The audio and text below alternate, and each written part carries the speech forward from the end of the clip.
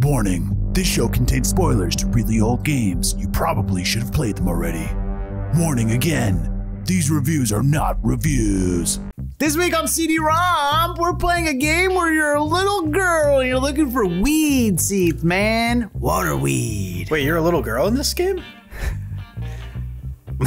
Jim, get with the times.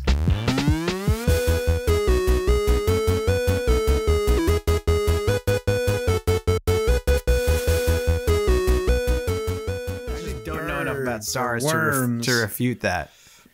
Hey, everybody. We were just talking about birds and worms. Welcome to CD Romp, a brotherly stroll through the PC games of the 90s and early 2000s. I've been singing the intro a lot, and now I feel like it's played out. So Good. I went to just speaking it. And I wanted to enunciate. Sometimes I go a little too fast. My name is Bob. You can go fast and, and uh, here with me, tip of the tongue to with me- teeth to mouth. tip of the dick, tip of the toes. Excuse and here with you? me is my little brother, Yeah, I don't know who he is. Jamaica St. Croix, aka the independent human variable, aka. Bob, I, I, here's here's the Uh, thing. I, I there's two things you need on, to know on, about hold on. me. I got one all more right, left. Bob? Wait, wait, wait. Rasputin's little bro. So are you Rasputin in, training. this situation? No, but you're still Rasputin's. Oh, I'm also I'm still like, Rasputin. cool. yeah. Rasputin's thicker clone. Okay, Bob. Say your name. yes. Jim. Bob. Bob. His Bob. name is Jim. Well, okay, my Everybody name isn't Bob. clap for him. Bob. I can hear we the crowd know your cheering name in the background. Bob. Now, there's There two we go. things you need to know about the C to the H I M. It's that I, I spin more rhymes than a lazy Susan, and uh. I'm innocent till my guilt is proven. Something like that. There you go. And welcome. We appreciate you guys uh, stopping by here for our little uh, podcast. Uh, If you're listening, you could be watching. And if you're watching, you could be listening because we're doing this on video on the YouTubes, including gameplay footage and audio on the uh, everything else, Spotify, XYZ. Jim, I think let's let's mix it up. Why don't you explain how this podcast works? Yeah, sure. So What are the rules? Yeah, yeah. We, we talk and then we hit the record button, then we talk some more, and and Yeah. then it's All right. published. That's kind of the abridged version. Yeah, that's one version. That's kinda of the What about in terms of structure and purpose? Mm, What if we purpose, to who put knows, together really? A thesis? Uh, Porpoise, also known as small whales, Um, dolphins. no, I don't know if porpoises really fall into the whale category. Jim, are you going to make me explain this, or are you going to do it? Okay. Do you want anyways, me to do it? Anyways, Yeah. uh, we each Sure. we play a game which is determined You every like other you're week. reading notes. I am reading notes from my brain, my mental notes. Like I, I'm, a, yeah, sorry. I understand how it works for sure, for sure, for Read sure. off that loose leaf. Yeah, it's so loose, baby. Um, we play a game for Is three it good hours, to have loose leaf? and then we talk Yeah. about that game here. The person who picks the game is then responsible for uh, giving some history and fun facts about the game. And the person who did not know about the game beforehand will talk mostly about gameplay. And the choice of the game is determined Yeah. every other week, hand in hand, step by step. And uh, yeah, Day by day. Step by step. Yeah, we take turns picking the games. And And, then, sometimes uh, we go Bob off is also of, uh, the- recos. Handler of the recommendatione. Lord of the hand, not jobs, but Well, they're they're kind of Business. jobs though. doing that crazy hand job. We'll just call them hand Yeah. tasks, So, and everyone will know what we mean. Wink. so speaking of which, I actually have a great way to start this episode. What? This Speak, wait, episode, speaking of if what? you're exactly. Speaking of recos, you might think, Jim, what are you drinking? Tell me right now. Uh, it's scotch. Explain I- to the audience. I saw. Ah, I was forgot it like McClugan? no, I forget what brand it is. I'm What- not big what- on the They're not vintners. I forget what they're called. Brew, they're not brewers either. I don't know what they call Distillers. them. Distillers. Okay. Distillers. Yeah. Why don't know, does it it's do like- this every time? What? What? Ask Every me what time I'm I'm drinking because one I'm of my always USB drinking something. No, one of my USB devices goes I also crazy. have seltzer from my Same- soda stream because I didn't feel like filling up the the filtered water thing. And Now, then is that a waiting scotch and and soda? water. I guess a technically because this soda? is seltzer, but I'm not mixing them in my mouth. I just happen to be drinking both of them near the same okay, time frame. so you're having a scotch Comma. and a soda. yeah, yeah. comma. Okay. Okay, so let me start. Let me start this week's episode. Now, for those of you short-term, long-term watchers, you probably saw today's episode and you said, "Hey, wait a second. Where the F bombs is Resident Evil 1? That's what I was promised at the end of last episode, which was Deus mm. Ex. Let me hold on. Let me Check us out. let me- Watch let it, me- cdromp.com. Let me, let me fucking circle Go back ahead. to the beginning of Deus Ex again because I just Time. rewatched it again today, time. or re-listened Okay. to it mostly because I had it minimized. Yeah. I asked Got you it. that day if you had the Yes. game ready, and you were like, "Yeah, Jim, Yes. I got it ready." And then we got to the I of the podcast. said no. I actually said. Oh, no. You said Roddy. I said ratty, and then you said not- I'm good. you said, are you Roddy? Yeah. Yes, this is like some Groundhog Day shit. And then once we started Yes, recording the we- podcast, you were like, "Oh no, actually, I didn't pick the game."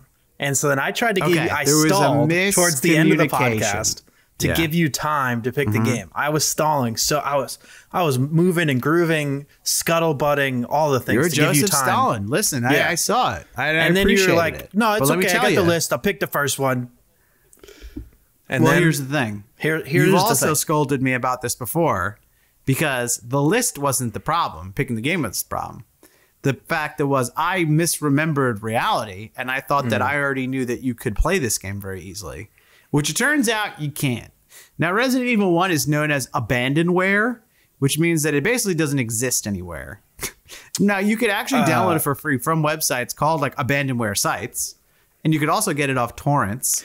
So, I was only able to find one torrent, and it had one, two, and three in a pack together, but I, I couldn't think we- actually get it running. I, I looked a little bit Go on ahead, eBay, and it's like the only people that are really selling them on eBay are people that are selling like complete sets that like want a hundred dollars for Hmm. it. Damn. So like that wasn't a thing. But I think if we actually went to like some sort of like retro gaming thing, which is why I sent you guys that info about the video game trading post. Shout out to the video game trading post of Long Island fame and fortune. Do they even have PC games? So not really, but that it just Okay. kind of sparked my my head. I was I was just thinking about where we could get like an old PC game, and I was like, oh, let me see what VGTPTCPC is up to, and they got like about to have th- their third Seems like location, letters. which is nuts. Yeah, that's pretty wild. Shout them out again because I was interrupting you. Yeah, video game trading post of Long Island. I believe they have a location in Levittown, Bayshore, and then somewhere else, Massapequa, They're opening up. something like that. Yeah, and they're opening up one in Bayshore. Yeah, I think it's gonna be like The in- most recent one. The one of them's like in a mall, like Mall of Amer- Mall of Massapequa or something like that.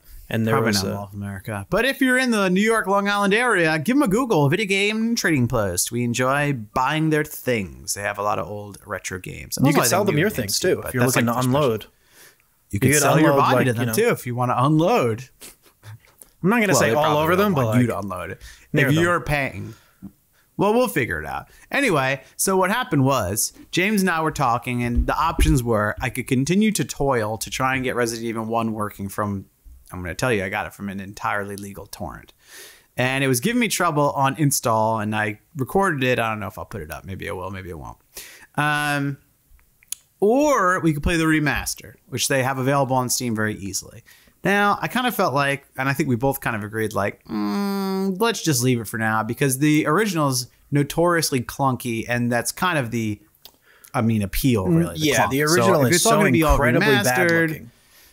Yeah, and sounding and everything. So we And yeah, and I don't know if so they updated like, like, you know what? the uh, audio and shit, but like the voice acting is terrible. So I don't know if they just like upped the audio Yeah, quality and kept all the actors, or if they re-recorded shit, or Who knows? know. You know, they got plenty of money, so they could do whatever they want. Um, yeah, so we decided, you know what, we're just back burner it, and then, oh, what do we do on the fly? Well, it's been kind of a while since we played a game for kids. it's it actually hasn't been that long, probably. But it's been knows? kind of long, but and we've only played one so far. And truthfully, it's a lot less than I thought we were going to because I when I when we were uh, what's it called uh, Brainstorming? blackboarding, whiteboarding, brainstorming. That one works. Brainstorming this podcast. I was really pitching putt putt. A putt putt game is the first game, and then as we got closer, I realized that Jim was not enthused about beginning with a putt putt game. right. I don't think you So realize we that did they're not, not, good and games. he ended up picking the wrong Monkey Island game. No, no, no, no, no. And That's actually so such fucking revisionist history. Hey, listen, let's for anybody that's curious in the backstory, go watch the episode, episode one of CD-ROMP. Go to cdromp.com, you can find it, or it's on the YouTube or wherever. But Jim, let's not even tell them that story. They have to go listen to the episode and find out. Sure, sure, okay? sure, sure, sure, sure, sure. Um, so now, in that kind of lane, and there's all weird tie-ins here, right? Okay, so I mean, there's not that many weird up there's one big time. there's a couple. there's a couple. Okay, so the first one is the name of the game that we did play, which you probably already know, is Freddi Fish and the Case of the Missing Kelp Seeds, which came out on October 28th, 1994. Now, this is uh, of interest to us because the producer and designer of this game was Mr. Ron Gilbert, patron saint of CD-ROMP, oh my god. who was the found the co-founder of Humongous Studios, who also was the FADA, uh, part of the creative FADA of the Monkey Island series, and the very first episode we did do was one of the Monkey Island games, although it was ones after he had already left Lucasfilm game, so it's not even really a Ron Gilbert special. But it kind But of, they you know, were. uh, But the whole game was full of references link. to the original game. All of the jokes we didn't get Yes, were based off of events that happened in the true. games he designed. So basically, now maybe we would get the maybe we'd get the jokes more now. no, we wouldn't because we still haven't we'll played the first out. two games. That's true, but we will eventually. So I Oh, mean, God. we've made our way backwards to go forwards because we played Maniac Mansion, which is the first notable Ron Gilbert game. So we're making our way through. Anyway, go watch those episodes. We already have Maniac Mansion. We did. We already did uh, Escape from Monkey Island. I think that's that one. Um, check them out. The backlog. Anyway, Jim, do you have any um, uh, housekeeping pre-show? Anything before I get into the history of uh, Freddi Fish and the Case of the Missing Kelp Seeds? Yeah, not that I can or remember off, off the cuff. FFCMKS? Yeah, FTK, F- FTK, pick Um, not that I can narf, narf. Quite remember. All right, continue. Okay. Yeah, fair enough. All right. So this game came out on October 28th, 1994. Jim, your birthday is October 18th, 1991. I don't know why you're doxing dots, that information. that that Well, very doesn't, I don't know if I. So like that at maybe- all, but Maybe for your third birthday, you would could have got this game. It's very possible. No, wait, it's in the wrong order. It comes out after your third birthday. Maybe as a belated birthday present, you could have got this game.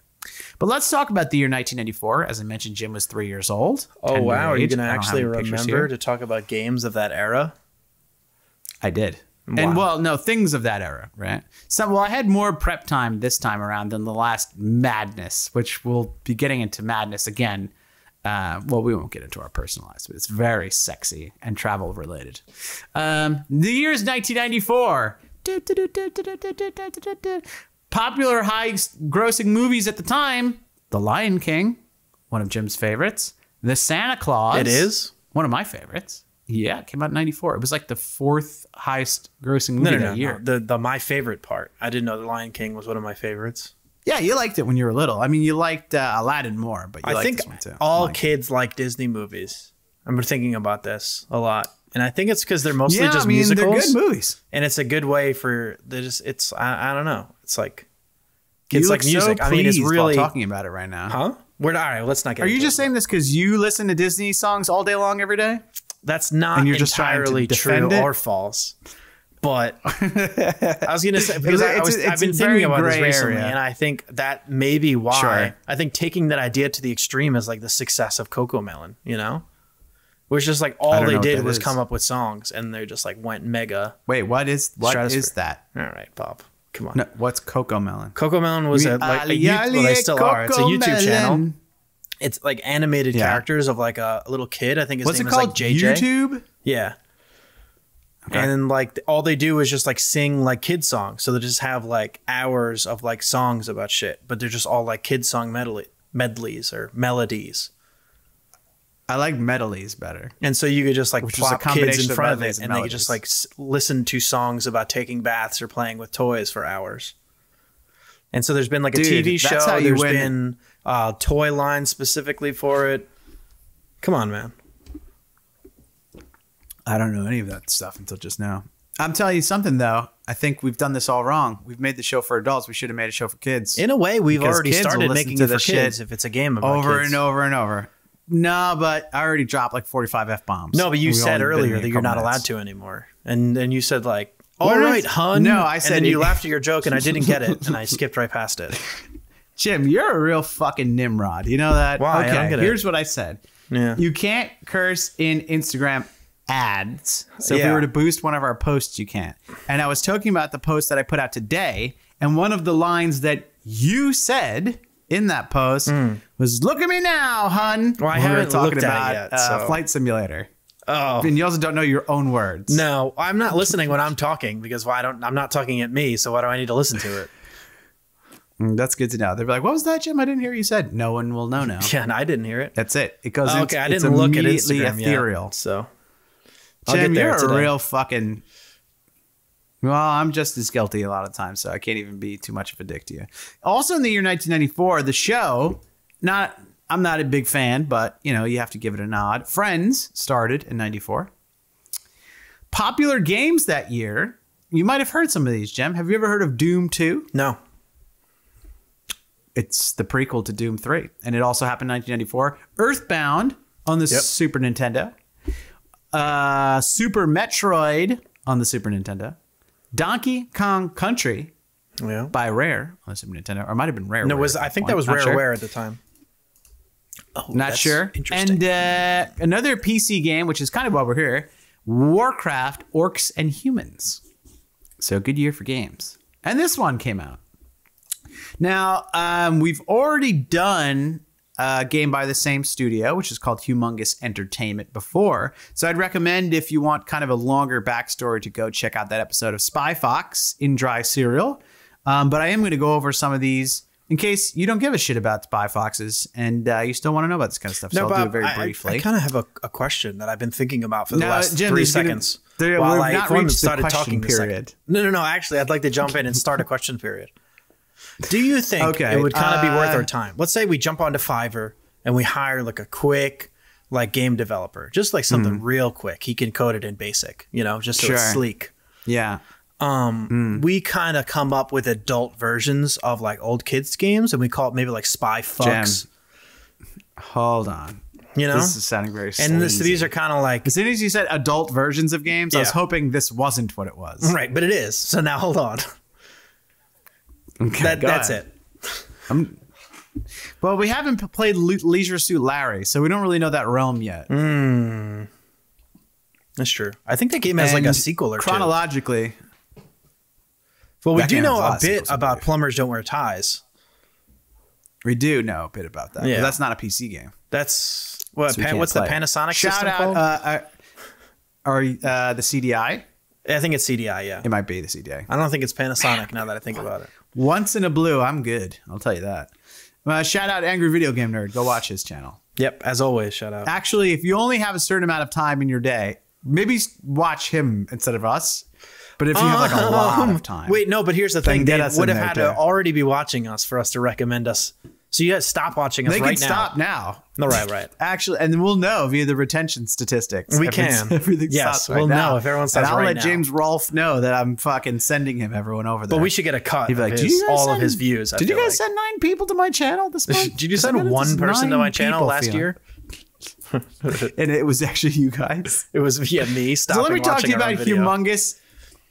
To, to- well, I could definitely see you stopping to watch our video to watch Angry Video Game Nerd. What can I say? Well, he keeps it real, this guy. I'll tell you that. Let's talk about Humongous Entertainment because we haven't quite got to the game yet. Yeah. Okay. Humongous Entertainment is the studio that made this game, co-founded by Ron Gilbert uh, from Lucasfilm, is where he used to work. Lucasfilm Games, and uh, his partner was Shelley Day. She handled the business and financials, and he did the game design. And I think he was credited at the studio for head developer, but he didn't develop every single game. They also started out with allegedly a three hundred thousand dollar investment from EA Games uh, on the agreement that EA could uh, publish their games or put them out or sell them or some shit. Did like that happen? And what? Said it did, I guess did- so. Okay. I, I don't know. You said I it was under the agreement. I was like, I don't know, and then you just I don't know. Yeah. Oh no, I didn't mean to say it like mysteriously. Yeah. That's just that was like the deal. You're like as to why under the did that. guise of potential publication. under the dark of night. Um, so and the studio came to be, um, Ron, and there's like a little backstory. Ron, uh, Ronnie, Ronnie G, he was actually watching Shelley Day's five-year-old son play Monkey Island. And he couldn't read yet, and the game didn't have any uh, voice audio, so it was only text. So he had like no idea what was going on. and he just really liked clicking his way around. And he said he kept like opening doors and clicking everything around the screen, and he was just having like a good old time just dicking around. And he's like, wow, you know, maybe we should. Like it would be cool if we could make real adventure games, but for kids, so that they can actually enjoy it. Um, and that's what they did. They went on to create Humongous Entertainment, which is very well known for their adventure games for kids. And it's very, it was very important to them all the while of really trying to make real adventure games, not dumbed down storybooks, um, but easy enough for a kid. Are you do, giving praise or are you No, no, a no, no. I'm, or I was raising my hand like I was in class Fanning. because I didn't. I didn't want to step on you, Dude. but I wanted to test my. You know, you already you already started the question period earlier. So what makes you think you get another oh, one? it's still question period. Okay, good. Thank God. No, no. Thank we already had it. It No, no, no. went- Yeah, but you didn't say came- end It period. came and went. You didn't Sorry, end it. end period. no, no, no. Now Start, you start missed period. it. Start period. Start period. No, no, no, no. All right, go ahead. Ask your question. Yes. Can you name all of the humongous entertainment properties? Um, I can get pretty close, probably. Stop looking it wherever you're looking. Stop me- looking at your notes. no, Stop looking at your why? I can do it. It's gonna help me to get my segue because I want to get the correct Stop looking at your information. I knew this one already. Hold on. Okay. So Stop looking at your notes. I must. Uh, no, I have to give the correct information. No, I So want to Freddi test your memory Fish- to see. Oh my gosh. All right, Freddi the Fish was the third um, IP for Humongous. They started with Putt Putt, that was the very first, and then they did Fatty Bear, which didn't last very long, which is weird, but I have played it before as as a as a Ute. Um, then Freddi the Freddi Fish, Freddi the Fish, and then I believe was Spy Fox, and no, then Pajama Sam, I think, and then Spy Fox. And those are the big uh, IPs. And then backyard baseball and all the backyard sports.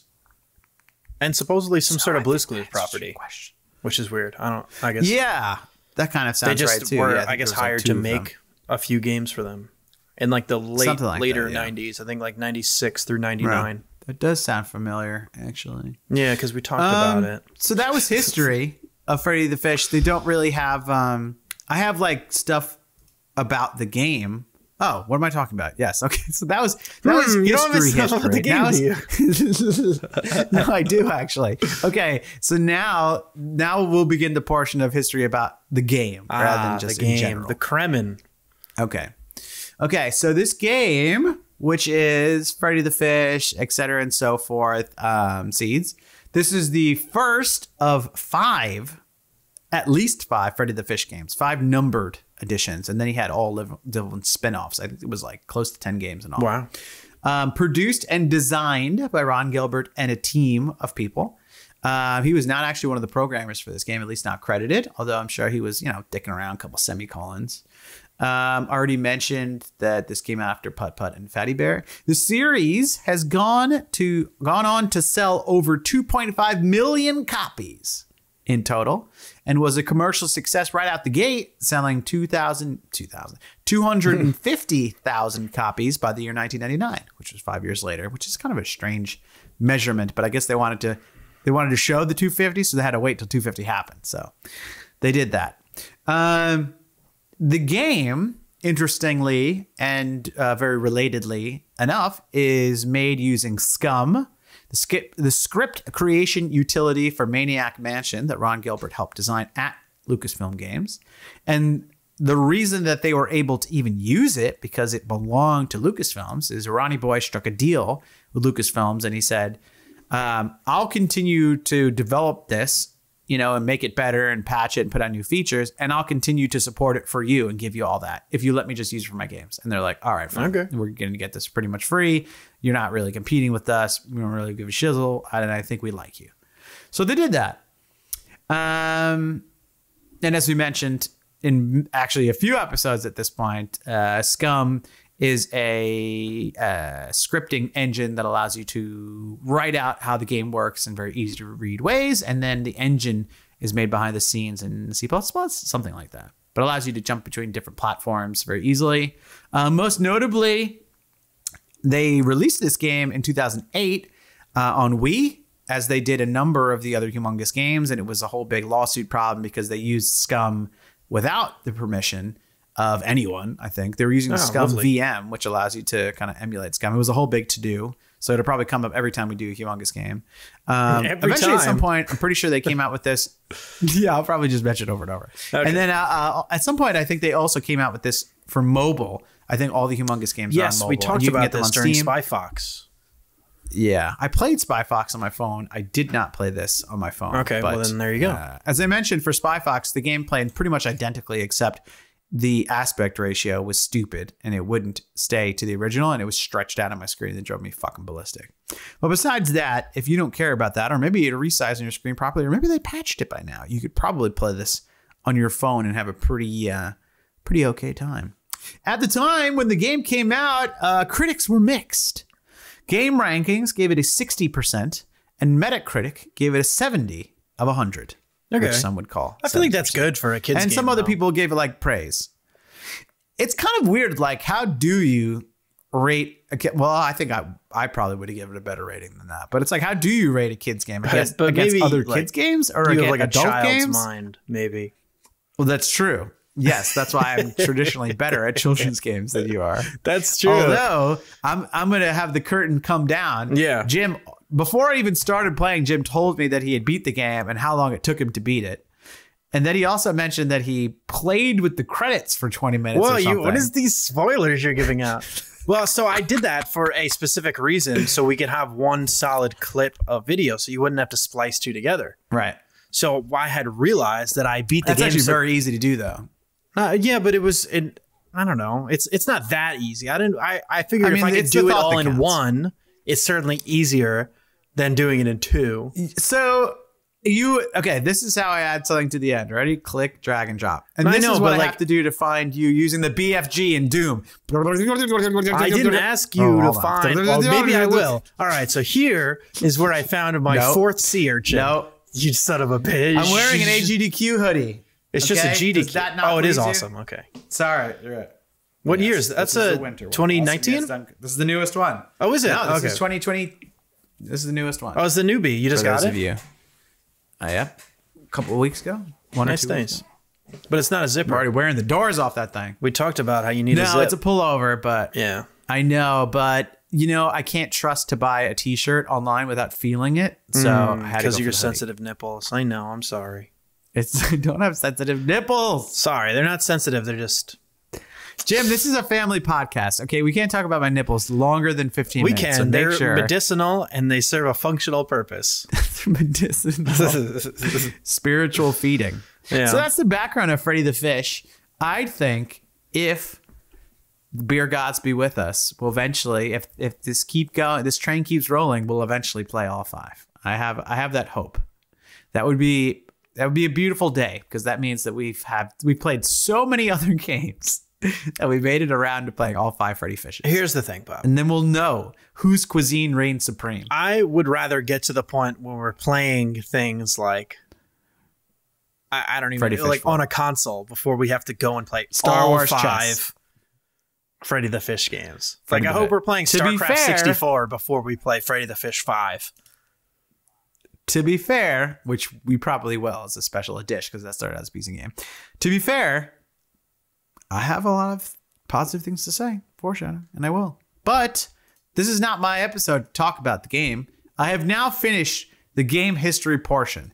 I'm now going to turn it over to my illustrious partner, Okay, are you ready? Chimadiah, who will talk about his gameplay focused experience that you have been seeing over our heads. And you'll notice that this will all happen in one continuous cut because I was very generous and courteous and played through to give us time to just do it in one depending on how cut. long we talk for. No, I know exactly I how long I recorded for, and it even wrapped Okay, around Jim, to the beginning credits again. And I do need to your upload it. I forgot to. Okay, that would be good to do. I also forgot to play around in the credits at the end, like you had mentioned, uh, because I was like, all right, now I got to do this history. I think I did. I do a little history beforehand. I already kind of knew a lot of history about Humongous, so I think I wasn't worried about spoiling or anything. Um, I don't remember. I don't know, but I'll tell you one thing. There's some things that happened in my life during this gameplay experience, but I don't want to talk about it yet. Okay, well, we life can- events. That's noteworthy, but I have, you have to go first, and then I'll. All right, I'll well, I'm gonna get through mine. Guys, get ready for a that heart, was- that was a nice guys, Get ready for a heartwarming moment. Yeah, guys, get set your dial for heartwarming Well, later in the I episode. Might Jim? just steamroll that, not let you get a chance to warm any hearts. I like to keep No, they have to stick around. I'm going to be checking the retention numbers. Mm-hmm. Bob, I don't know So if you know I- how to do you that. don't have to like me. Jim, I know how to use YouTube. I'll okay? lie to I know you and about tell you Mr. the Magoo, retention whatever you said earlier.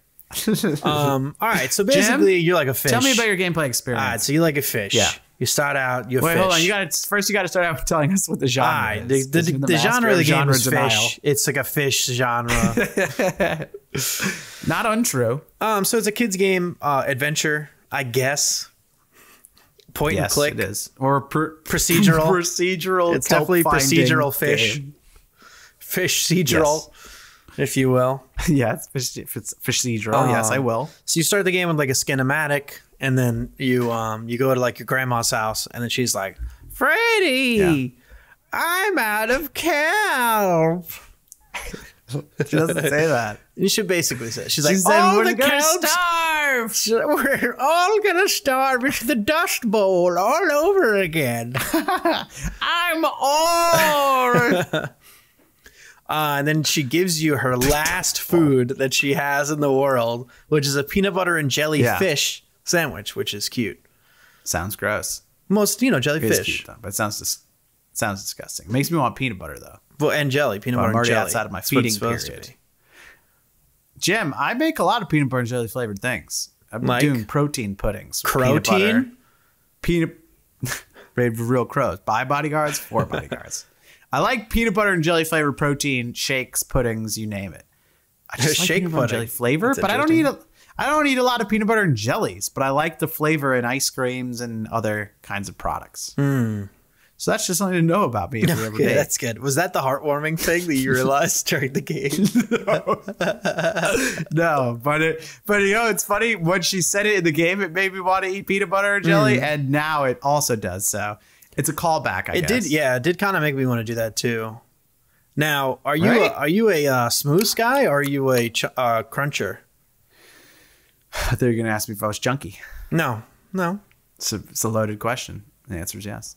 Um, you know what? I enjoy chunky, crunchy, but I think you know smooth is tr- traditional. No, really. no, cauliflower is not traditional. Did you make little X's in the bottoms of them, Uh, Jim? yeah.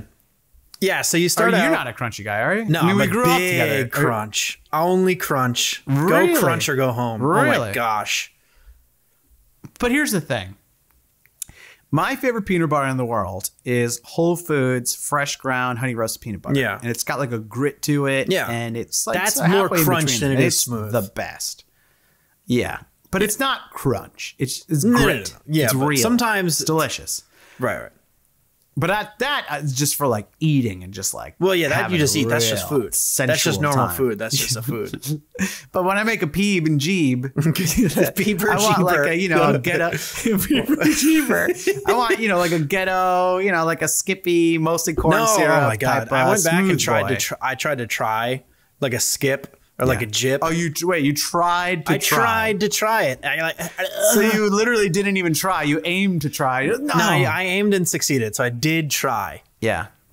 Okay. and they were like so like fake tasting. Like like compared it to like Yeah. like a soda, a soda, and like a diet soda. yeah. It like that. Yeah. It had like almost like an aspartame kind of feel to like the regular. It's more like- natural peanut butter flavor that I'm used to having. You know. It's it's more like pizza and pizza flavored things. Like when you have pizza flavored Pringles. You Why say is that it that like- pizza flavored stuff never ever tastes like pizza ever? Be- what do you think they're gonna inject pizza into it? They're what they're doing is using like to, they're using uh dehydrated tomato What, paste, oregano? probably oregano and cheese powder as well. It doesn't work. I don't think Well, we yeah, should it have don't ever done work. it. I mean- It- It's the worst flavor approximation ever. Like Wow, worst flavor. worst? You can't ever do it. I don't know. What are Yeah, those I mean, combos? what about those combos that are like pizza combo? Those are pretty good, aren't they?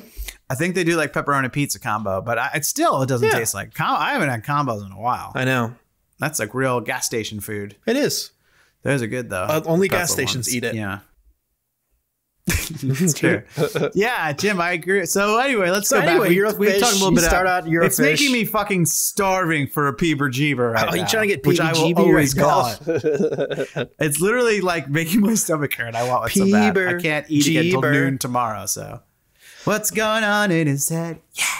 Okay, Um, so she gives you her last peanut butter and jellyfish sandwich. So this your and says, grandma "Hey." literally has no food left in the world. It is dire straits right now.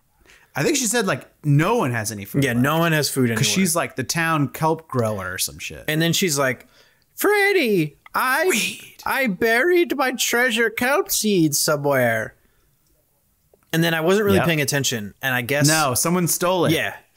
So okay, I was gonna get to that, Bob. This is supposed to be my part, Bob. There's no, like you can't get to it because you see you're saying it wrong. I'm not. I was about to say I'm pretty sure someone canon. stole it. All right, sorry. You said that she buried it. I think. Well, I yeah, she put it in a in a treasure chest, but I, I wasn't sure where she put it. But I know for sure it was taken by the two sharks. They're the main antagonists besides the chief boss, which I'll get to later. well, shark antagonists, but yes, you're correct. Sure, sure, sure, sure, sure. And they're like two classic, like uh, they kind of have like a, a two Stooges vibe. There's one who is like a Moe, and the other one who's like a Gordy, or whatever the other one, one of the other ones are. Yep, that's it. Moe, Larry, and Gordy. How could you forget? uh, Sitting around eating your peeber jeeber, watching Gordy on the old boob tube. no, is, isn't there one that's like hit hemlock or something? What's one of the temporary ones? temporary ones. What are you talking No, about? there's Moe, Larry, This Curly, fucking- and there's like Grim Lord. Moe, Larry, In all my days, I've never, ever, ever heard someone say they thought Hemlock was one of the Three Stooges names. Now you know Grimlord isn't one of them. Come on, that wasn't a real guess. Shemp was There a, you one of go. the Sorry, brother. sorry. I knew But it I think they had like a mess. They had like a mess of brothers rolling around. No, Every no, there often was there like a four. There was just like four. Darnold. Darnold. I I'm think like- there was another one. no, I think it was just like the I four. I think they. I think there was one other one. I think Maybe you're less thinking of like the Marx Brothers or the Pep Boys. I think I'm not thinking of the Pep Boys. That I think you're thinking of the Pep Boys. Anyway, two of the Pep Boy maybe sharks. Grim, maybe Grimlock is one of the Pep Boys. oh, so- Sorry, it's Grimlord. sorry, yes, yeah, Death Yeah. Knight and Grimlord. Apology actually not accepted, but please continue. Yeah, uh, and so they're like a classic. Like one kind of has his stuff together, and there's one like kind of a heavier idiot type, Yeah, which is like it's like classic, like you know, old timey Hollywood. You know, like like like Same Abbott and thing in, uh, Costello kind of situation, and like you know, yeah, yeah. Same thing. They had it in uh, Bugs Bunny cartoons and Yeah. Looney Tunes. There was one guy who's like, "Shut up, shutting up, rabbit." And the guy's something like yeah, it's, it's that kind of dynamic. Yeah. Yeah, Uh, So they're pretty fun. They're pretty fun. And there, there's one guy's like, I don't know. I left a message in a bottle to lead me, to give me clues on where I hid the treasure. And then Yeah. you find the message in the bottle first before they get there to go s- get back into their. accidentally. Yeah, Yeah. Um, and then that sort of sets you on your way and it gives you like a clue and then you have to go navigating through this world. So the, it's it's a point and click. And the beauty of the Hmm. game is that like almost everything on every screen is interactable with just little things that'll pop out, things that'll it's happen. wild. Yeah, It's really like a perfect game for a kid that just like you Yeah. can click all over the place and like things will happen over and over again, but like will be slightly different. Mm-hmm. So like you click on this like uh, shell and like a crab will pop out and it'll like wave to you, let's say for example. But you click it again Sure. and another crab will pop out of like a little bit different color and wave to you with his other hand or something like that. you could be in like a mariachi band. Yeah, and you can do that like eight times, and this is just like a great way for like, especially when like you're a kid and you don't, you you're not sure how to progress the plot, but you just want to keep interacting with things, and even if you click on the wrong Yeah. place, you still get a lot of feedback from the game. So like this, you input things and you're getting things back. Even when you do things wrong, you're getting positive feedback. So I think it's it's like a good game for kids to keep them entertained and to keep them engaged. Definitely. It stays true to their original, what do you call it? Uh, idea. And we've talked about this a lot. The kids like being there in the moment, just having fun more than they are plot driven. So yeah, And and so it's it's not a very much stuff they could complicated plot. around It's with. it's basically like you go and you find things on the ground or a part of the environment. That's so sad. you just find things on the Yeah, you find you find different items and, rocks. you and you um, have to use them in different situations. Like um, yeah. I, I can't even think of any, a, any of the good examples of the items. I can give you one example. Sure, sure, in, sure. in this one area, you have to push this gargoyle, and it opens the locked door that lets you go down to the dungeon where your other friends have been kept. I'm sorry. What game did you play? That's actually from Maniac Mansion, one of our previous episodes. what the fuck? I, I'm gonna go back and watch your face. You're like, you were trying to think so hard. Oh, Ah, that's, that's, classic. No, here's one of the things: you pick up purple sea urchins Yeah. and use them to fill up a bucket, and the bucket pulls a, a rope that lifts a thing to let you go into another. Level. well, no. So Stuff here's like here's a better thing. You know, you need to it's get very procedural. yeah, you need. It is very procedural. Okay. Uh, This time you know is. you need to get the the um the manta ray or stingray tells you he needs a clock, and so you go find a clock somewhere else. So he you give him the clock and he gives you a button to open up the net Yeah. to get the pearl to give to the king to give you another note. I never did that part. I never gave anybody the pearl. Yeah, you I give got the, the pearl pearl, but to the never gave it to king crab. Oh shit! I never even did that. How Well, you don't you don't have to because he just gives you a clue of where to go. Uh, okay, because I'm super smart. I didn't even need to do that. I I, I I think tried. his name was like Man Ray no, Man T or Ray. Rayman. Rayman, probably. Yeah. I think his name was like Ray. oh, Ray. He's a man, and his name's Ray. Hey, how you doing, Ray? Bob, you know what I learned the other day? That do you remember the game for N64 Tonic Trouble? Mm-hmm. That game was actually made by the same studio, I, development team, I guess, that made Rayman, and they Really? made that game basically is the precursor to Rayman to see if it would be a success or not as a game. So it's very Here's similar model, and it was and like um it, it was kind of like a proof of concept to see if like a Rayman game could be good. Yeah, but here's the idea, or here's the problem I have with that. Mm-hmm. That came out way after Rayman did. Are you sure about that? Yeah, the first Rayman came out a while ago, Okay, when did like early Rayman- '90s. you sure about that? Oh, so maybe just on console? Because I heard about this Yeah, when someone was playing make- Tonic Trouble. That would make sense. Like, oh, let's see if we could do Rayman in 3D, and that's how they tested it. That would absolutely make sense. Uh, Jim's talking about a game for N64, so just strike all this from your verbal record.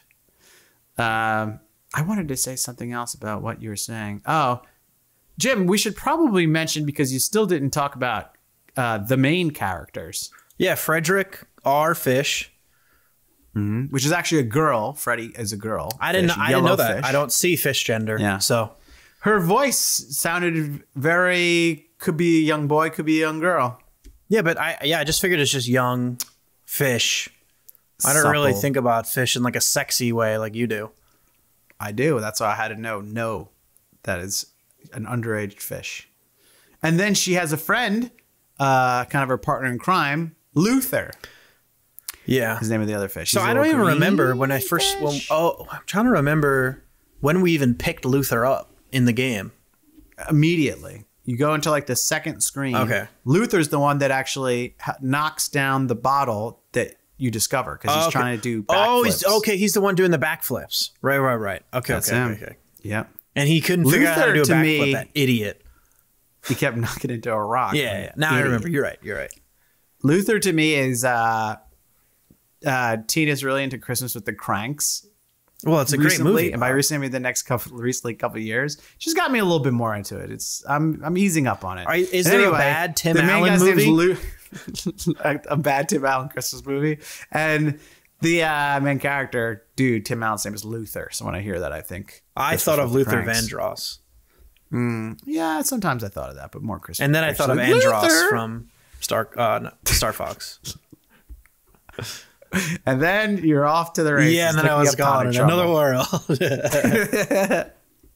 So yes, Jim, please continue your uh, gameplay experience. You're going around with Freddi, the fish, uh, Luther, the other fish. Yeah, and you're- These you're two trying- sharks are trying to chase after you, and you're looking. so they're not for- chasing after you. Every once in a while, you will get a cutscene, which was invented Yeah. by Ron Gilbert and his team. According to Ron Gilbert, Yeah. it was invented by Ron Gilbert. Uh, yeah, according yeah, according to Ron Gilbert, invented by Ron Gilbert. in another, and then now we're like another Ron Gilbert game. Yeah, so. yeah, yeah. So um, yeah, every once in a while, depending on how far you get in the game, they'll give you like an update on what the sharks are up to. And eventually, they get like mad and they have to go to their boss, who's like the King Squid or something. I forget what his name is. Squid, the Squid Father. Thank you. I thought you were about Sorry. to bungle that one. And then he's like, "I'm a squid. You guys are doing bad." You're just doing a Michael Scott impression right now. Uh, I don't- Because he doesn't even speak words. yes, he does. No, he doesn't. He goes. He just makes sounds. Are you sure you played the same version I did? what version you play? The one in Singaporeanese? Maybe. That's what I had turned on, dog. Hmm. Okay. I'm pretty sure he doesn't talk. And they're like, "What do you mean? Come on, with China best." And he's like, Maybe I just speak squid, and that's why I could understand what he was saying. I, think didn't you, even realize. you want. I think you could be. I think you wanted him to sound like that because I also did. I thought he was gonna be like, "This is the day of my calamari's wedding." This is like But the whole. This is the that. whole conversation again about me watching Squid Game in uh, what is it in Korean? Mm-hmm. And then I, there's a part where there's like English people, and I don't remember if they were speaking English or not, or if they were also speaking Korean, because I don't realize when it turned back to English because it didn't seem like a change to me. I can just absorb the English. That's interesting. Yeah, I mean, I could I could understand that. Um, that uh, you know, speaking of what, which what doing that voice, there was a lot of New York ethnic characters in this movie. I mean, this movie. In Yeah, this but that's game. that's just Lot like a rough and tumble type of accent. It's supposed What to be. about right? what? ab- Jim, what, what would you comment on? Uh, I think it was Herman the cra- uh, the crab. The Oh yes, crab. I did take mental note. He's. I'm not even gonna do it, but he- He's like, "Oi, my shell! It's I all the light. I can't sleep. I It's did driving the- me crazy." The Shining. uh, yeah, it was Yeah. pretty great. He may have been Jewish, that guy. I think He I think that was the intention. Yeah, Or it was a Jewish guy not trying to do a character.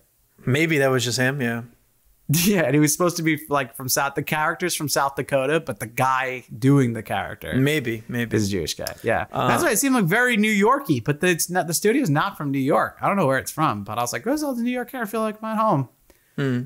Italians and Hmm. But Jews. uh, and- but yeah, so you you progress through the game. You kind of find the items that the that the characters or situations need, and then Mm-hmm. uh, eventually you find your way to the uh, pirate ship, which is like the last stage of the game. Yes, I'd agree to that. and then you give the uh, walking stick. You give the, the ukulele to the guy with the walking stick, and you give the walking stick to the guy with the ukulele, or something like that. And the This is very interesting that now you've gone very specific at the very end here. well, because towards the end I You didn't realized I was in the about last all the stage other of the intermediate game, things. and then I was like, I need You to paying really attention draw this more. out. I could, I thought, I thought you say I got to really start paying attention here because I got to talk about gameplay. And so I listened to the song that he sings about like three times, which is kind of good. And I don't even remember The what he was singing song? anymore. Oh yeah, the Arg song. Yeah, I wished it was better, I thought it was pretty good. but good. it was fun, I guess, for a kid. And- and you Jim, know give me what's a little rendition. and is arg to the left, and I arg to the right, and I arg in the middle, and I arg day and night, something like that. That's close enough. Close Um, enough. And they actually give specific like writing and performance credits in the end credits for uh, the arg song for that song. Yeah, I hope someone got a little check for that ARG song because that's essentially what it was. And he's like, sometimes what I like to do is ARG. And then Yeah. every, all the kids go, ARG. So it's fun for the kids. uh, yeah. And so you uh, get to the like the middle of the pirate ship after you open Mm-hmm. the window, and then there's the treasure, and then you bring it back to Grandma, and then she, you help her sprinkle the kelp along the land. Incorrect. Okay, you carry the tre- open treasure chest back to her as it sprinkles kelp upon the land, turning it into correct. bountiful forests of wheat and chaff. Yes. Yeah, they don't really explain why all the kelp in the world is gone, but also she has all the seeds. So she almost seems like some kind of like land baron or What something. What if she is she kind has of like all an- the seeds? What if she's like What's the opposite of a serf? Some sort of a goddess, a goddess, But then like some sort of Why pagan god in charge of kelp. Pagan. Did pagan have like underwater gods? Did did they? Or are they just all above I've not above ground? chatted with pagans. Well, here's the thing: how would they go underwater to interact? They with hold their head underwater and then talk to them.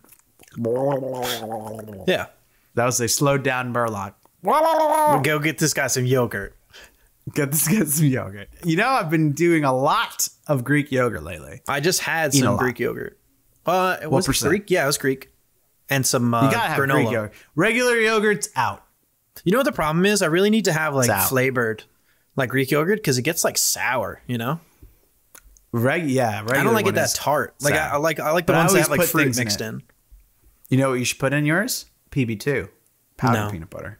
Make peanut butter yogurt. No, I don't really like mix it. And then you have to like make sure all the some powders frozen mixed blueberries? in, and then like otherwise you get like a little- chunk chunk of dunk. No, there's no I just chunks. I just a put like granola. I just put granola in. and I'm good to go. Granola's all chunk. Yeah, but it's chunk. It's consistent chunk. Well, I guess you said you did like crunchy things and smooth things. So Yeah. that does make sense. Listen, here's what you do, okay?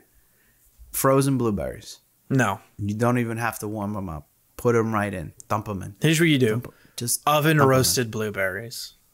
oven roasted frozen blueberries. Yes. All right, so that's the end of the game, and then it Dump 'em in. cuts to end credits. See you next week. Yes. It cuts to Now, end you have a credits. lot to say about these credits Uh, because you played them for 20 minutes apparently. Yeah, pretty much. You'll. I think at this point you'll probably start to see credits.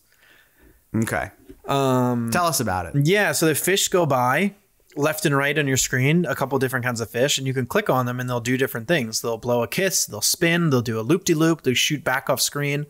Then there'll also be Tell big bubbles and little again. bubbles. The little bubbles will either pop or they will dance around. And the big bubbles will either pop into little bubbles with a sound effect or they will turn into other humongous games properties, including Putt Putt, Hmm. uh, Shit Bear, and Honey Fly. I don't It's know. It's fatty Bear. Is that better? Is that supposed to be better? At least it's at least at least it's accurate. I think that was one of the things, th- reasons why they didn't continue with Fatty Bear too, because it was like Fatty Bear. They Yeah, thought I it was like it was making fun of him. Yeah, it's Going just not- it's not like a- the bear. Yeah, I don't know. A nice Yeah. adjective. It's like not like yeah, not not like a great game. I get that it's like kind of Some catchy. people don't like being called fat. It doesn't bother me really. Hmm. But like if you are fat, why dance around it? I guess maybe you don't want to If be. you're not fat and someone's calling you fat, then I can understand being frustrated. no, but then why? 'Cause you're like? I'm Because it's not even literally- true. So it's just they're just lying. Well, that would be frustrating. I don't like to be lied Uh, to. I don't know. That seems like it's their problem if they're the ones saying something inaccurate So what we're trying to say is, don't let cyberbullying bother you. or regular bullying. CD-ROMP. Jim, I have some. Um, I have some notes about general things, like here. general Um, relativity or would you say I actually have no notes about general relativity? oh okay all here. right that's fair. Would you say that your um, gameplay experience has been conveyed? So I can go over these notes, or do you also have other notes you'd like to cover? No, uh, I, I'll give a few a few other uh, please. Yeah, uh, I would say that I, even though I'm not a child, I mean, I hope I hope that's Mm. evident. I did enjoy playing and interacting with this game. I think the puzzles were like just barely not straightforward enough to where it's like it's not like here's a circle, put it in the circle hole. It's like just barely more difficult than that. To like I actually had It to was like next to the circle hole. yeah, right. It's so like I did it. I wasn't completely bored about problem solving this stuff, and I think the environments all looked good. They were really fun to interact with, and uh, the character agree. voices were all fun. Um, the graphics Mm-hmm. are like animated and stylized in a way that I think holds up because it's basically looks like a cartoon. I can comment on this, Jim. Um, okay, hold on. Um, so overall, I think I. I enjoyed playing the game. Um, I'd play another Freddi Fish game, but it, it's funny because I was when I was playing it. wow, right, here you go. as soon as I started, I, I this you could tell me if this is untrue, but I don't think I played a Freddi Fish game before. I probably just don't remember. No, I don't think so. We might have had it, but we were we were I a putt putt family, remember. really. Um, Dad wouldn't let us play anything else but putt putt. Get back in your room and play putt putt. yeah. Um, but Go it's, to it- the parade. it plays essentially like the same method. And and I don't think that's necessarily a detriment because kids when they're playing this will never realize that they're playing the same game. But it's structured in I think they figured out the structure of like kids game to where it like works really well. Kid adventure game. Yeah, that's Yeah. their they are the the premier kid adventure game shop. But it like For it sure. functions like the same way that like a putt putt game like it's just yeah, like so if you played out. one, you're like, okay, I know how. Yeah, yeah, yeah. I know how this is gonna go. Yeah. Same as Spy Fox and everything. Yeah. The Spy Fox, yeah, it, yeah, yeah. I you know I will say you could definitely tell the difficulty level how different it is from playing Spy Fox and playing this. Spy Fox you do scratch your head a little bit. Yeah, a yeah. little walk I, I was gonna. like, that's why I fuck? paused a little bit when I was tongue. What you know, meant you mentioned Spy Fox because I think that one does take a little bit more thinking. You need to think, not necessarily just this guy asked you for a fishing pole, so you have to give him a fishing Yeah. pole. He's like, I'm not ready to use that yet. Yeah, yeah, I don't think that will help. yeah. And I think there's some That's good voice acting impression. across all the games. I mean, I, I haven't played a putt putt game now in a number of years, but I I. I, will. Extrapolate and the voice assume acting's that fun. it's probably It's some not, good voice you know, acting too. It's not you know sanitarium confused child. Hey, acting. Sanitarium was great. I, I don't. You I- have we talked about Sanitarium. Sanitarium in every game since playing Sanitarium? Well, because you love it so much, and it's also one of our worst performing videos. That is true, but it, people should play that I game. think it is a I really think interesting it deserves game. more praise. I agree with you there. I do think it's a very interesting game. I- Also, I do think it features some of the worst voice acting and some really good. Not that's not the average experience, but some of it is really bad. Yeah, I think they create such an I- amazing ambiance. Just like the sound, the sound stage that they create. And know? we came into the nickname Stumpy, you know, which we still keep with us We do okay. to this day. To this very day. Um, do you mind if I touch on uh, what you said about the visual style? Yeah, I think that's basically all I wanted to communicate about my gameplay experience. Okay. Yeah, So originally, this game was made visually, um, pixel by with pixel art, pixel by pixel, uh, MS DOS, in the same way that the earlier Putt Putt games and Fatty Bear games were, and uh, I don't know about how far into production. Let's say three quarters of production. Mr. Ronnie G went to a some kind of expo or something, and he saw how people were digitizing hand drawn art and then coloring it in the computer. And he's like, "Holy balls, we got to do this." So he went back and was like, "Here's the thing. Are you guys up for this? Because I'd kind of like to remake the entire." Now, game." Bob, if I can like, interrupt you for a second, I know exactly what Please. what conference slash like expo whatever you're talking about. you do, Yeah, it was actually held by do you know who? John Romero. really? I'm lying. No, I'm lying. I was like, "Holy shit, we're No, learning all over the I'm place now. We're starting to link things together." Oh, because I guessed John Romero.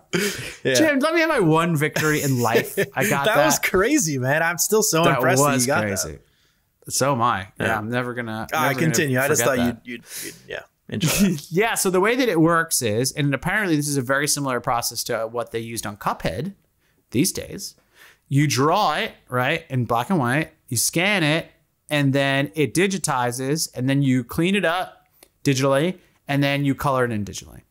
okay. And that's how they did things for this game, and that's apparently how they did things for Cuphead as well. And apparently there was like a, a team of like assistant art people that did all the cleaning up and scanning and boring parts. Okay. But you could see if you look online, you could see the before and after, and it looks totally different. Uh, looks really good. It looks very kind of like Disney-ish animation, I guess. I'd kind of compare it to earlier Disney-ish stuff. Okay. Um, but they did a lot of really nice visual stuff that they didn't have to do. Um, I noticed in particular the scene transitions. The fish never just like walk off the side of the screen. They're always like Yeah, getting yeah. bigger and smaller in scale, and they'll go in front of the foreground and behind the foreground. Just like really pretty looking uh, for no other reason besides that just looks really nice. So I did appreciate that. I didn't notice a lot of, if any, repeat animations or things that looked lazy. Everything was very visual. Um, bada bada bing bop bong bing bong.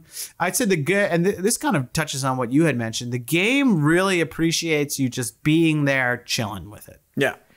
Al- Although every so often Freddi would be like, "We really should find the treasure chest." a lot of other times it's just like, and then just there's a lot of steel drum. Yeah, being I- I- played. it's. I don't know when that decision was made that like coastal slash tidal sea, like the sea is just all steel it drum. now. Yeah. Jim, is that what your boat's going to be called? See it now. See it now. Wow, that's great. Yeah. I probably never plan on owning Right. a boat, but But if you do, see it now.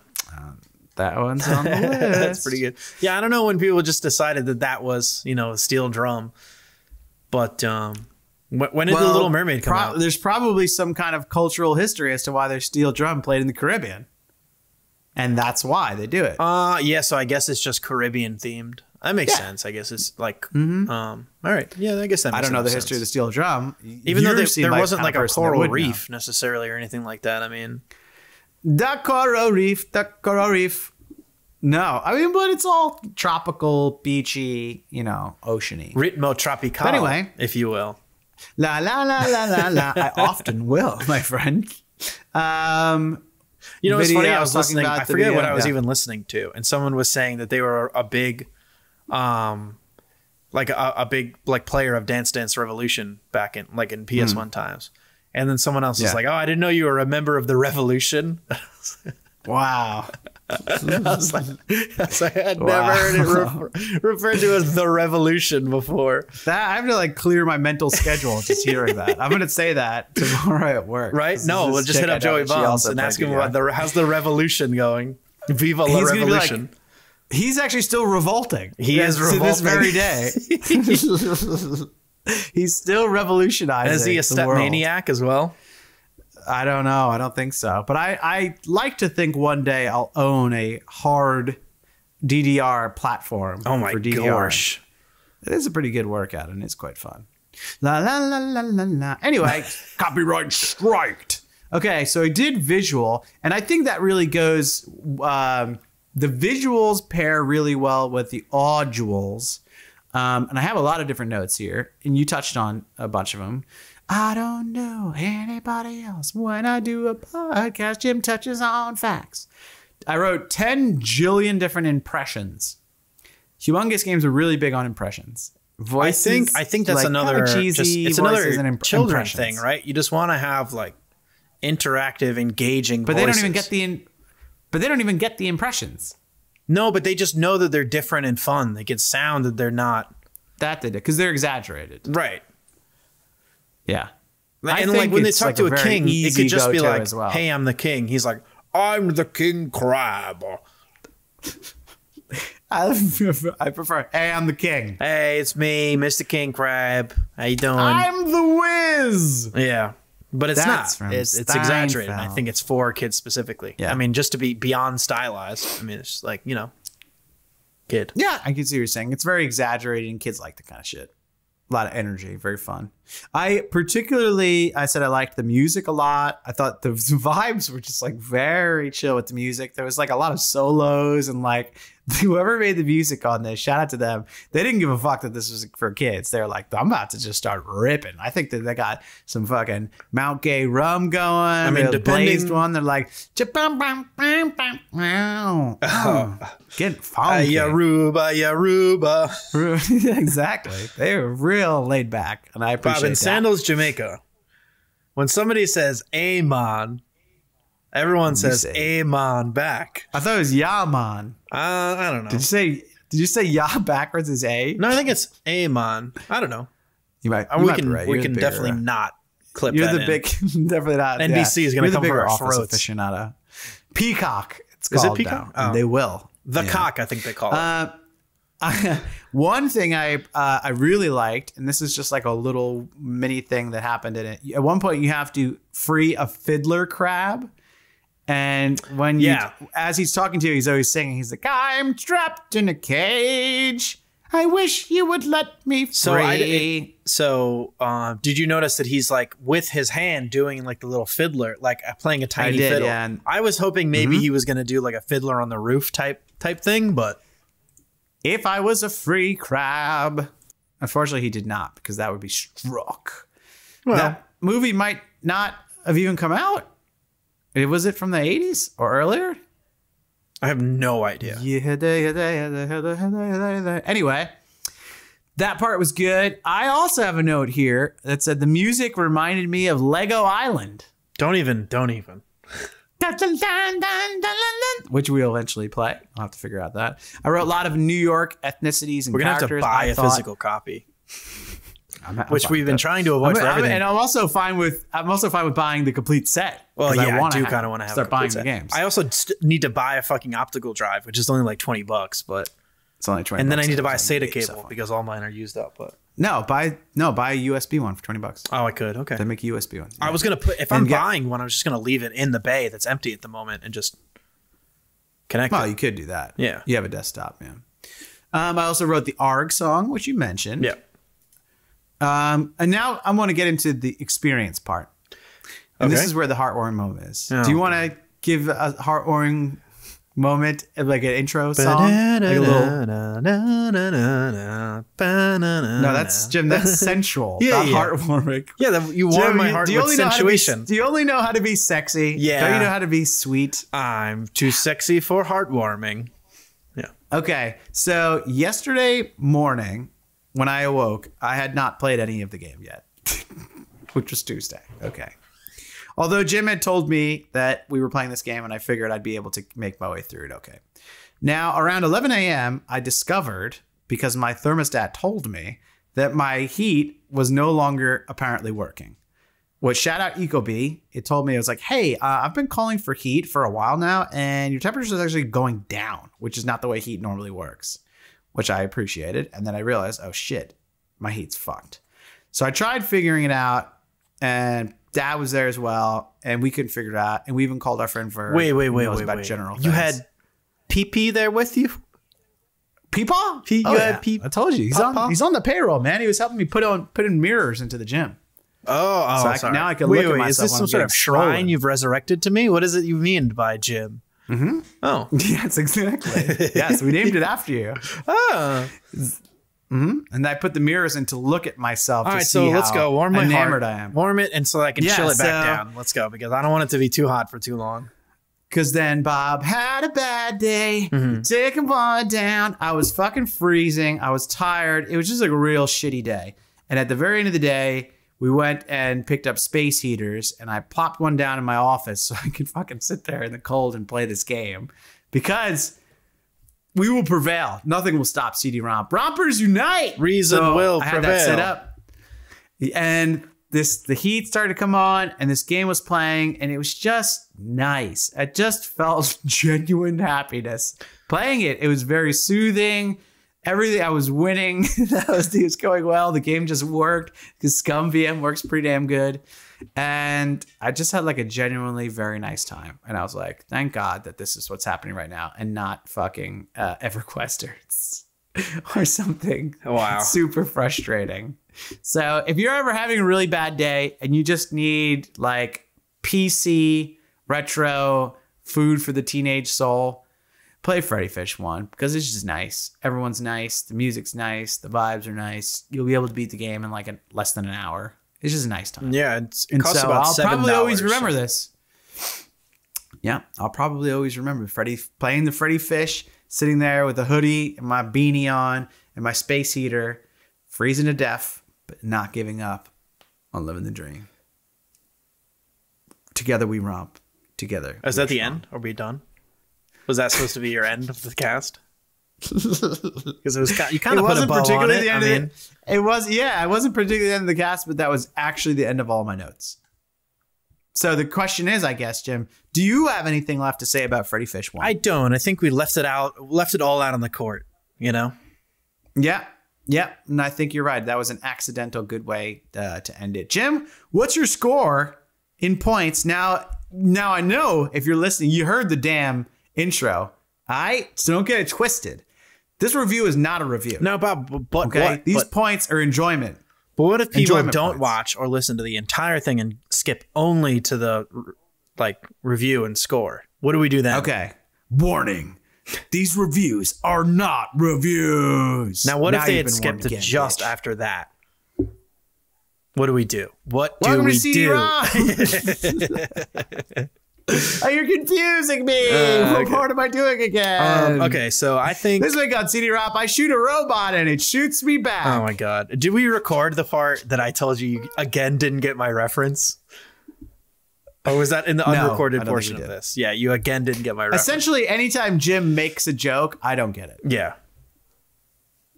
and that's just our dynamic. But I often laughed at the things he says, like Right. Grimlord and Hemlock. Well, yeah, but those weren't So jokes. it's hard to say, are you Jim? Are you funny? No.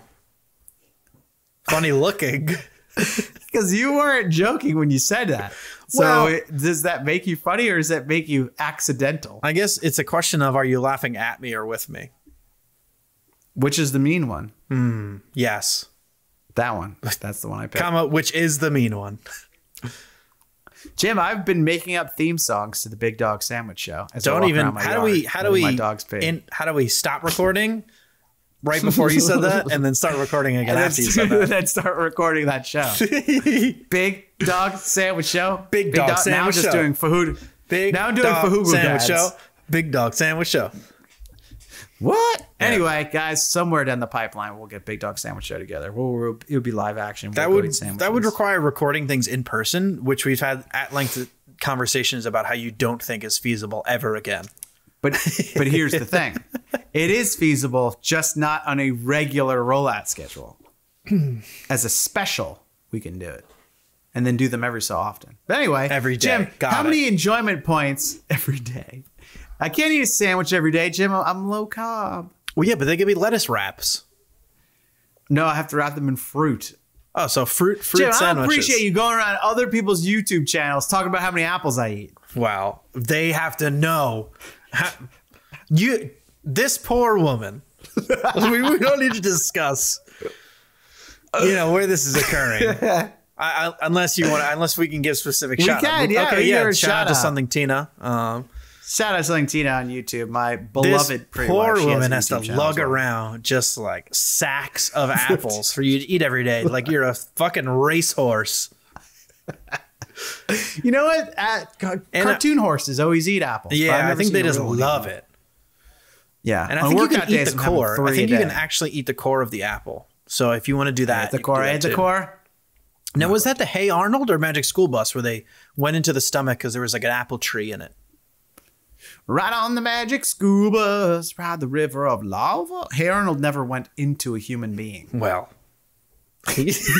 Well, Helga. Wow, wow. Jim, how many enjoyment points would you give this game? uh Well, you can call them whatever you want. no, no, no. I I'll mean, call them enjoyment points because I don't remember what I called them last time, and I never will. Uh, Yeah. I'm gonna give this one like a 9.1. I really just like enjoyed playing the game, and it can it could be because like the vibes were great. I knew it was gonna be quick. Um, it was like fun to mess around with. It wasn't hard to figure out, and everything gave me like real good feedback. Like clicking on everything made things shoot around and make cool noises, and there were cool accents, fun music. It was just a good old time. Yeah, it was a good time. I mean, my only critiques would be things that would be unfair to critique. Yeah, I think Make it a yeah, little harder. it, things Make that I would be expecting out of an adult That's what game. she said. Yeah. You know, not not a children's game, but I think even considering it being a children's game, as a child-minded adult, I enjoyed playing. Yeah, and I appreciate how much effort went into a lot of different aspects of it. Like there's real artistry there, and as Jim mentioned, there are so many. I think they're called click events. There's so many click Yeah. events on every screen. It's insane. It must have took them forever to do, and it's one of those things that's like. Uh, What's it called when like you do a thing and it's like a lot of effort, but like people never appreciate it? Maybe labor of love. Mm, horny frog syndrome. In theory, mm, bit of a grimlock. In theory, someone could go through the game and never really have to click on all the things that are there. I didn't click on all of them. I tried to click on There's- all of them. Really? Oh, Yeah. That you make good for good gameplay footage. I'm gonna go and Jim said 9.1. I'm gonna say 9.0. Why, why do you hate this sl- game so much? Bob, tell us why you hate this game. Um, it ended pretty quickly, even for a kid's game. Well, see, you you you do that because you, were able to you- in in your mind as a as an adult brain, you you have better Mm, well- navigation skills, and you have better memory skills, and you have better problem solving skills. So I imagine as a child playing this game, they will often forget where they just came from, where they've been to already, and what problems they've already solved and how to solve those problems. So there will be a lot of not necessarily going around in circles, but it won't be as linear as an adult as it will for a child. So I think you're going to get like three hours maybe out of this game, let's say conservatively, instead of the one hour Probably or more. less than you as an adult. I'd say that we need a new term for when things are meant for adults besides adult because but I porn enjoy is really calling them adult. How about Yeah. mature? More- that sounds just bad. And what do we say? 18 plus triple X. Yeah, we could say NC seventeen maybe.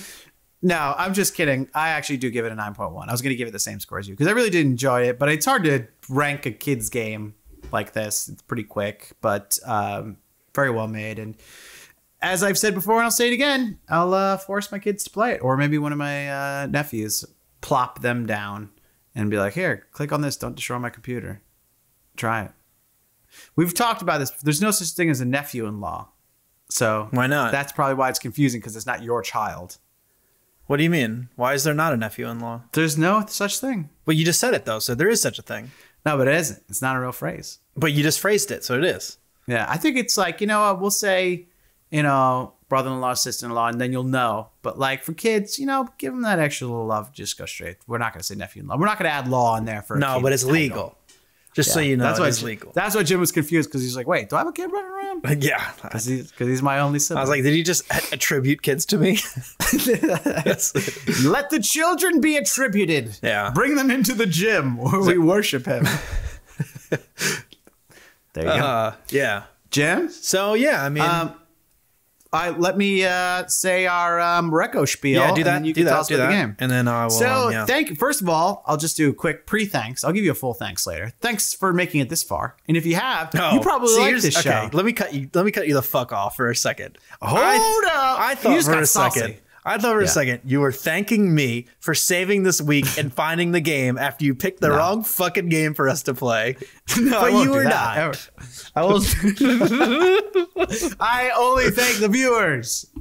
The viewers will prevail. Oh my god! If you've made it this far, we just want to say shout out and thank you. We appreciate it. And we're glad that you're enjoying. And that means that you might even want to be a part of the show by sending us a suggestion. So if so, send us an email to the boys, T H E B O Y S, at cdromp.com. Oh, actually, emails, uh, after Tanner sent us another email. I got to check that one.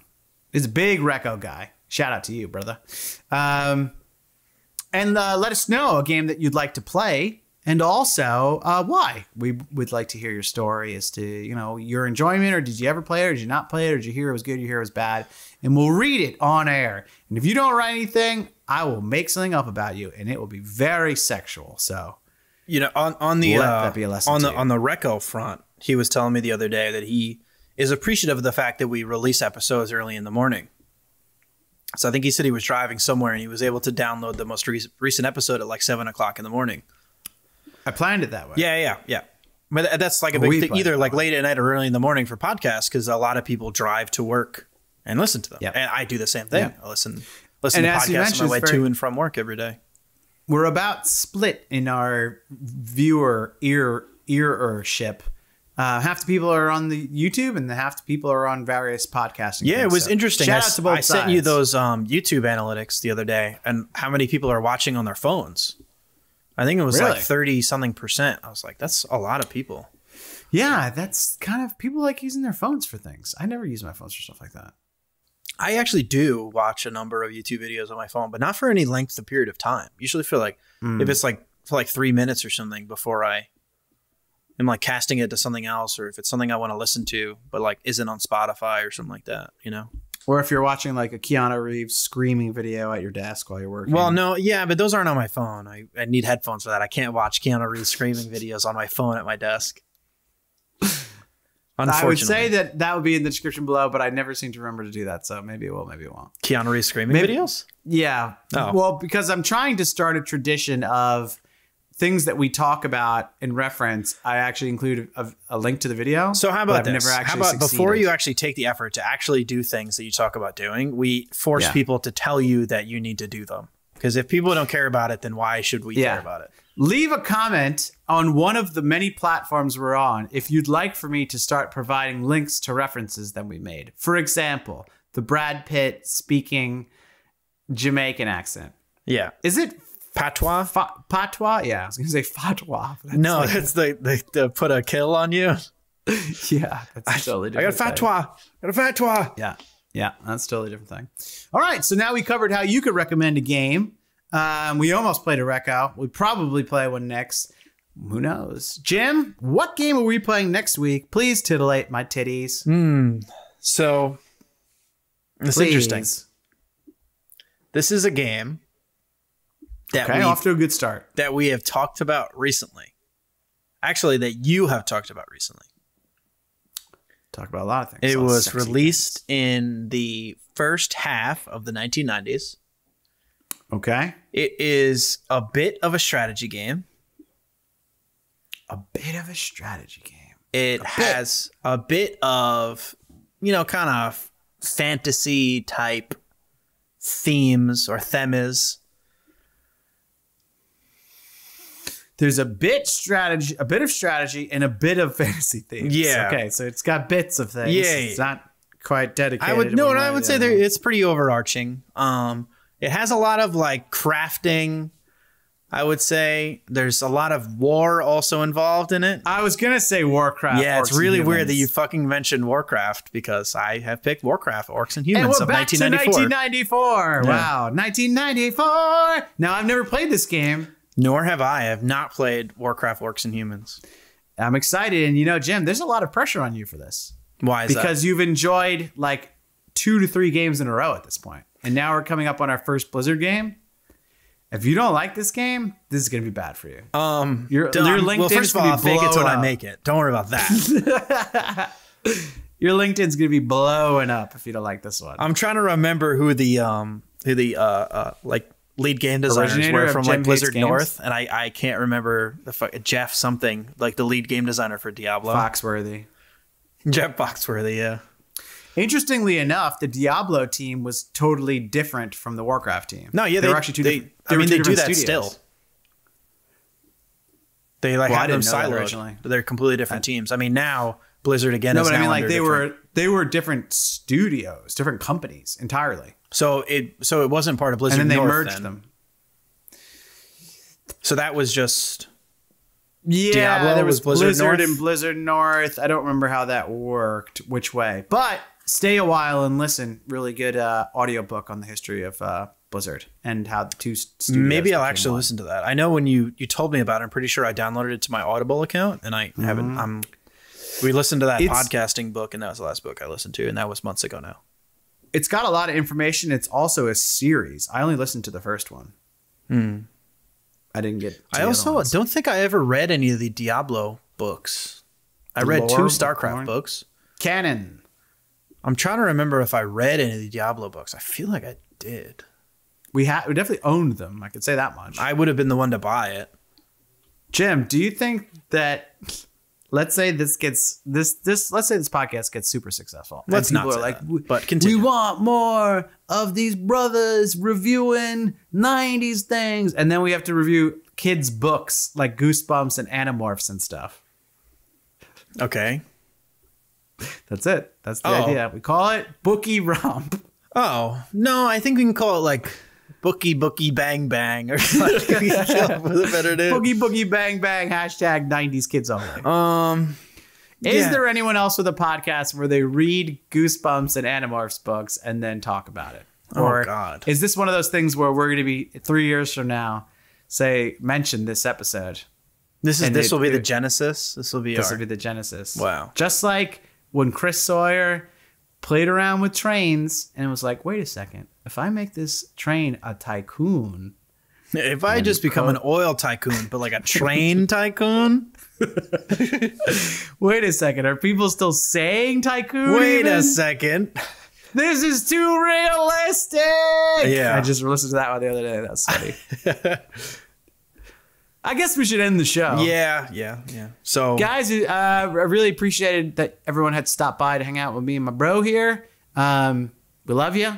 We enjoy doing this and we want to make more. So please let us know how you feel. Subscribe, follow, comment, rate, all them kind of things. and don't forget, get your car washed. Get your car washed, y'all.